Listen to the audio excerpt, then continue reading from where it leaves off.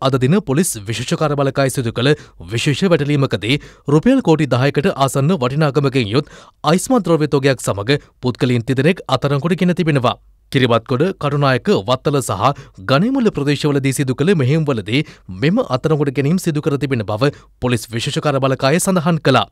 කිරිවත්කොඩ ප්‍රදේශයේදී සොකෝගබෝගී මෝටරතය පරීක්ෂා කිරීමේදී අයිස්මත්‍රවය කිලෝග්‍රෑම් පහකට ආසන ප්‍රමාණයක් සමගින් සැකරුවෙක් අතනකොට පත් වූ අතර ඩුබයිහි සැඟව සිටිමින් මත්‍රවී ජාවාරම්වල නිරත වන නිපුණ සහ නන්දසේන යන අයගේ අනුදනුම් මත මෙම ජාවාරම සිදුකර තිබෙන බව පොලිස් විශේෂකාර බලකාය පැවසවා. පසුව කටුනායක ප්‍රදේශය කරන ලද මෙහෙමකදී අයිස්මන්ත්‍රවය සමග යුවලක් අතරඟට පත් වූ අතර ඔවුන් ඉතා සූක්ෂම ලෙස චොක්ලට් සහ රසකැවිලි අතර සකවා ගුවන් මගින් මද්‍රවී මෙටට ගෙනවිත් තිබෙනවා.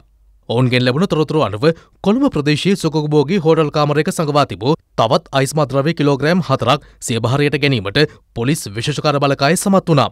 ඒ සමගින් අතරගොට පත් වූ අයගෙන් ලැබුණු තොරතුරු අනුව වත්තල සහ ගනිමුල්ල ප්‍රදේශයේත් මද්‍රව්‍ය ජාවාරම් සඳහා යොදාගත් සුකෝබෝගී නිවාස දෙකක් වැටලීමටද පොලිස් විශෂකර බලකාය කටයුතු කරන ලැබුව මේ අතර පොලිස්පති දේශබන්ධු තෙන්නකෝන් මහතා පොලිස්පති තනතුරේ වැඩ බහර ගැනීමෙන් අනතුරුව අනුරාධපුර සහ මහනුර ප්‍රදේශයේ සංචාරයක නිරත වුණා. මහනුරට පැමිණි පොලිස්පතිවරයා ශ්‍රී දළදා මාලිකා මැදපුදා ගැනීමෙන් අනතුරුව මහනායක හිමිරුන්ද බැහැදැක ආශිර්වාද ලබාගත්තා පොලිස්පතිවරයා ඊයේ පස්සරුවේ අනුරාධපුර ශ්‍රී මහා බෝධීන් වහන්සේ වැඳපුදාගත් අතර අනතුරුව අටමස්ථානාධිපති පූජ්‍ය පල්ලේකම හේමරතන හිමියන් බැහැදැක ආශිර්වාද ලබාගත්තා මද්‍රව්‍යවලට සම්බන්ධයෙන් සමාජය පුරාම පැතිරිලා ගිය මේ රැල්ල පොලිසියට විතරක් හසු නොවී ඉන්න විදිහක් නැහැ මොකද ඒකට අහුවෙච්ච සුළු පිරිසක් ඉන්නවා. ඉතින් අපි මම දැන්ටම ලයිස්තුවක් වශයෙන් 134ක දෙනෙක්ව මද්‍රව්‍ය පාවිච්චි කරන අඳුරගෙන තිනවා. මගේ අය සම්බන්ධව පොලිස් සේවයෙන් පහ කරනවා. මේ මද්‍රව්‍ය ජාවාරමට පොලිසිය එක දිගට මාස 3ක් යුක්තිය මෙහෙව තුලින් මේ ඇති කරලා තියෙන පීඩනයත් එක්කම